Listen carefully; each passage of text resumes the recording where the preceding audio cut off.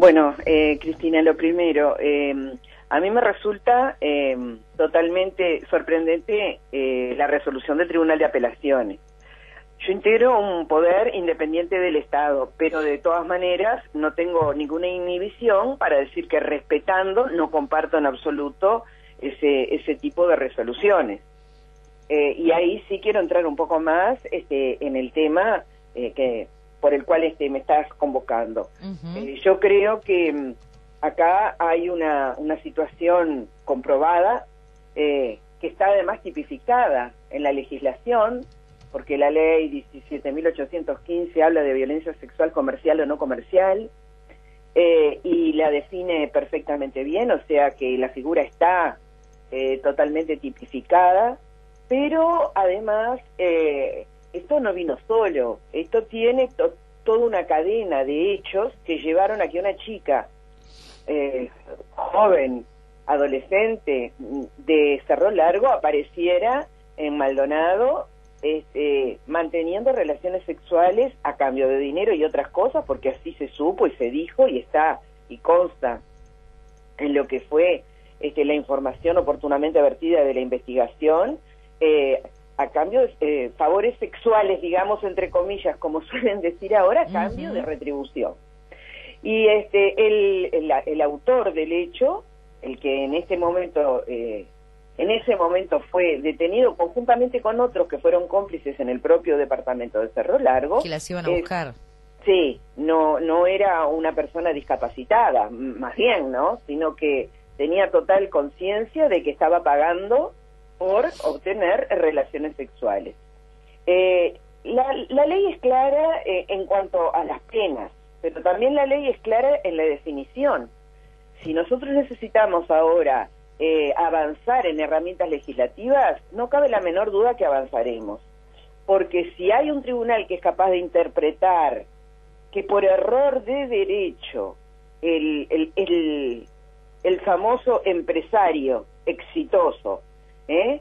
Pensó que esta adolescente tenía más edad eh, de la que este, en realidad tenía, bueno, la verdad que estamos entrando en un plano de subjetivismo que por lo menos para mí este, requiere análisis, eh, pero también requiere intercambio, porque la verdad que eh, es difícil eh, no, no, que no genere este, bronca, que no genere preocupación, que no genere eh, repulsa, eh, que eh, esa respuesta con esa liviandad pueda llevar en el futuro entonces a que con ese pretexto la explotación sexual de niñas, niños y adolescentes sea una cuestión totalmente válida, nada más que con invocar de que no sabía la edad que tenía este quién en su momento se me fue ofrecida o fui a buscar para mantener relaciones O sexuales. sea, porque Yo es como una involución a lo que nosotros creímos Totalmente. habíamos avanzado.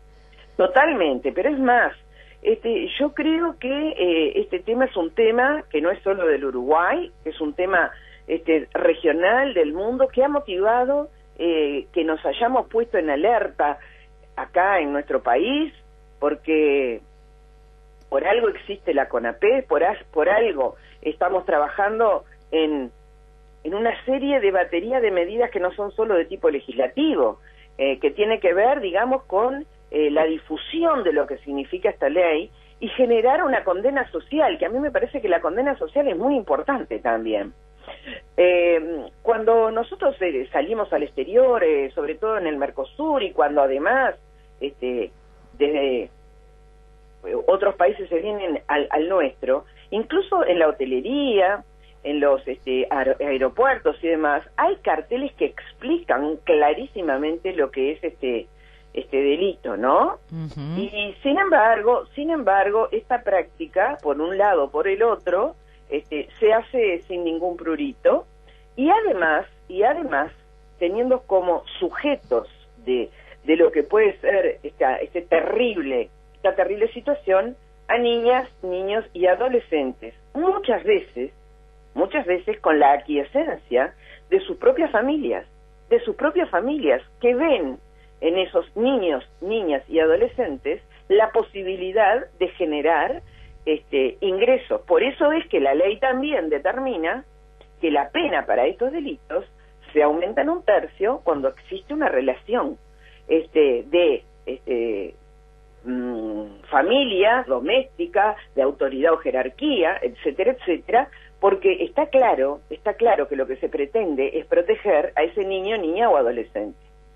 Entonces este es un tema, primero, de ejercicio del poder, es un tema, por supuesto, eh, que no contempla eh, la realidad de esos sujetos de derechos y por, por si fuera poco ahora, eh, hay un tribunal de apelaciones que usa esa figura error de hecho para eh, revocar una decisión que, a mi juicio, se ajustaba a derecho. Está Daniela, eh, acá hay, hay, hay dos temas. Por un lado, el miedo, el temor que nos da cualquiera de nosotros como ciudadanos, en su caso como, como diputada, de que, bueno, se acerque gente mayor, gente oportunista a los barrios vulnerables y les ofrezca a estos niños, niñas y adolescentes dinero, en este caso ropa, recargas de tarjetas de celulares, se habla por allí de motos también, ¿no? Sí, sí, sí. Con lo cual, bueno, se está trabajando en, en un negocio de prostitución con menores. Por el otro lado, yo te corrijo, perdóname, mm. pero no, no, no, no estamos utilizando el término prostitución, sino que estamos utilizando el tema explotación. Explotación, claro, sí. es diferente, ¿sabes? Es diferente, porque cuando hay explotación hay uno que explota y un explotado. Claro. Y en este caso hay un explotado o explotada, que es un, un, este, un adolescente, y hay un explotador, que es un adulto, es un adulto, pero también hay adultos que viabilizan que esa explotación sea posible, porque no habría explotación si no hubiera demanda y si no hubiera oferta por parte de quienes usan a adolescentes como negocio. Diputada, también está el tema de que muchísimos opinan que bueno que este señor empresario exitoso, bueno, por tener dinero hace lo que quiere. Si la justicia que muchísimas veces bueno actúa de una forma con algunos en estos casos es mucho más bondadosa y eso también se pone en tela de juicio por parte de la ciudadanía. Bueno, Cristina, eh, vuelvo a repetirte lo que dije al comienzo. Sí, bueno, sí, hay separación de, poderes, obviamente. entrevista. Eh, yo tengo mi opinión personal, este, mi, mi además, eh, mi asombro todavía no controlado por este, por este fallo del Tribunal de Apelaciones, pero las partes subjetivas las puedo, los puedo plantear, pero no voy a interferir en, en inmiscuirme en lo que este, constitucionalmente no puedo.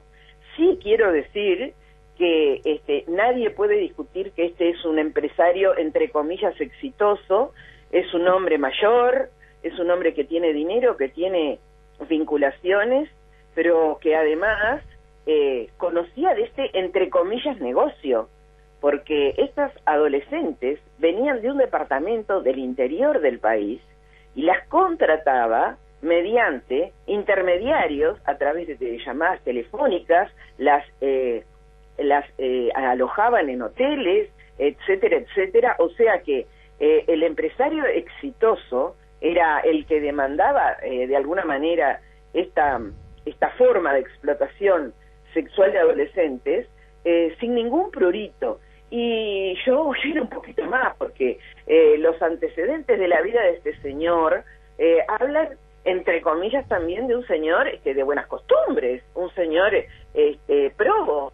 Y sin embargo, eh, muchas veces estos señores exitosos tienen esa parte de su vida en la cual este, los valores y justamente tal vez movidos por ese entre comillas éxito hace que este, busquen eh, este tipo de situación. No habría explotación sexual, eh, comercial o no, eh, contra niños, niñas y adolescentes si no hubiera adultos que demandaran esa explotación.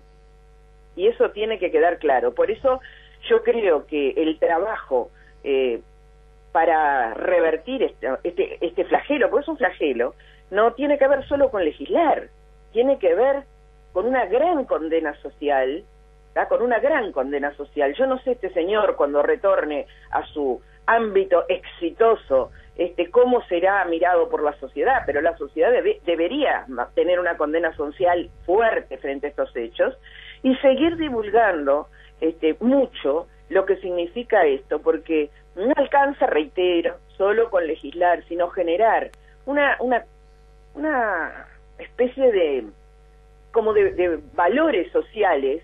Eh, a veces hablar de valores este, es complicado, pero yo en este caso voy a usar esa palabra porque no encuentro otra mejor, que de alguna forma hagan que determinados hechos generan, eh, reitero, condena social y que son totalmente reprobables por una comunidad que la que mira estos hechos este, con total este, no solo desaprobación, sino con, reitero, con condena. Daniela, en, este, en este periodo, en este periodo de gobierno, las discusiones o los temas sobre las interpretaciones judiciales con respecto a las leyes han estado a la orden del día, ¿no?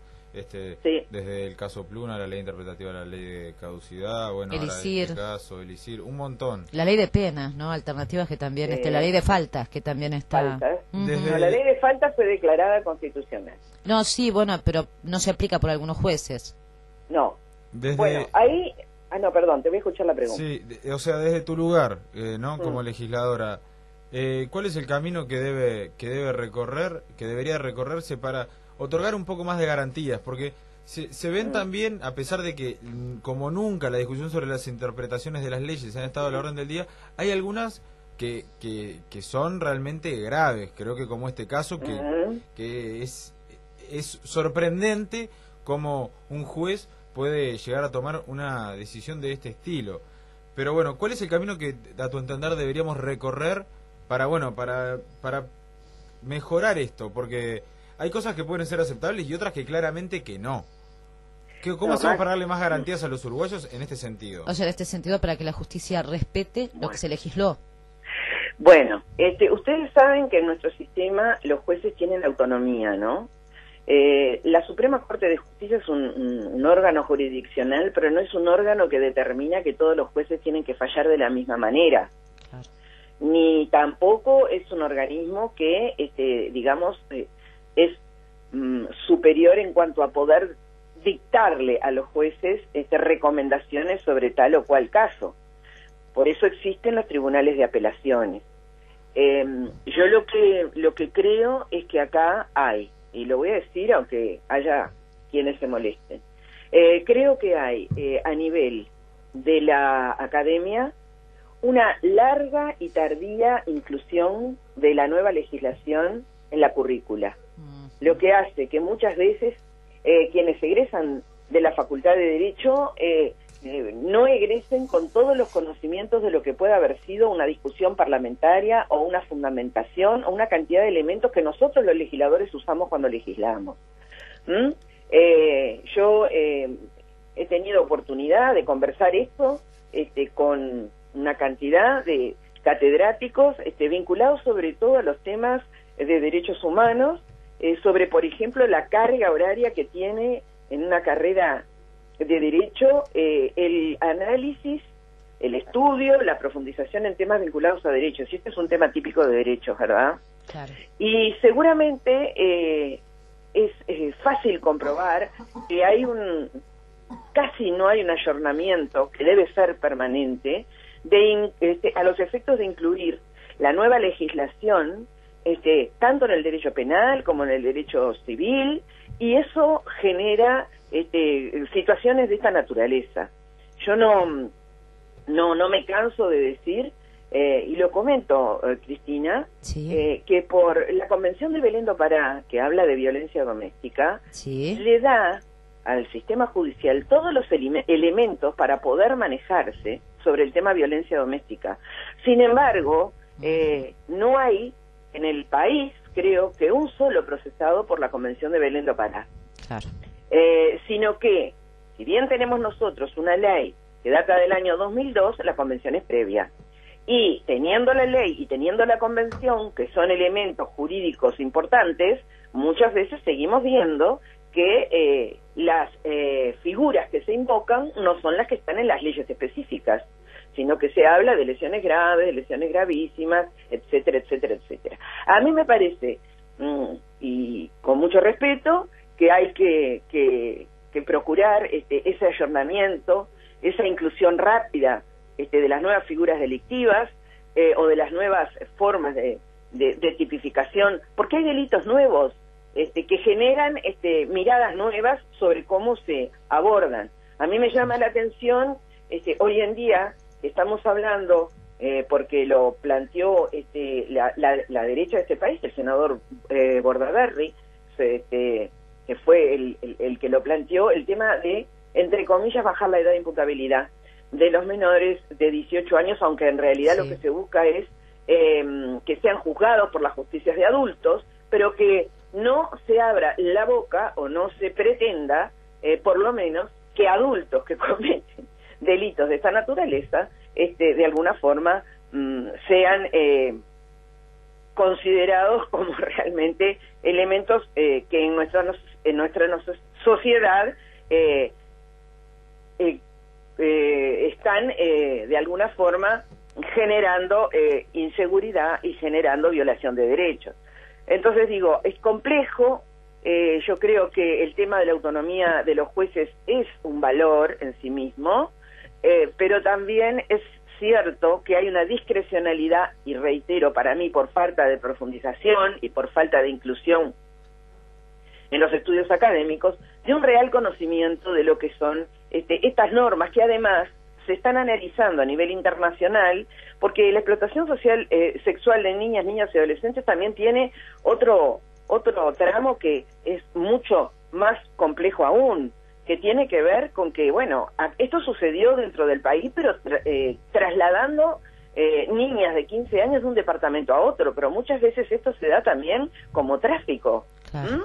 Y esto tiene que ver con las, con las fronteras secas, con la facilidad que, que, entre comillas, puede haber para el traslado eh, de, adolescentes, para lo que puede ser, como tú decías, de tentador para un adolescente que no tiene de repente una contención familiar, eh, la oferta de, de determinados bienes materiales de tener que cosas. hoy la sociedad le ofrece y que no puede conseguir.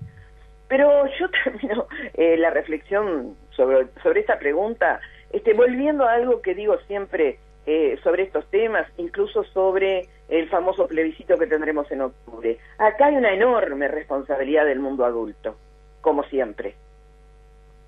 Daniela, muchísimas gracias por haber bueno compartido con nosotros este tema que nos duele en el corazón, ¿no?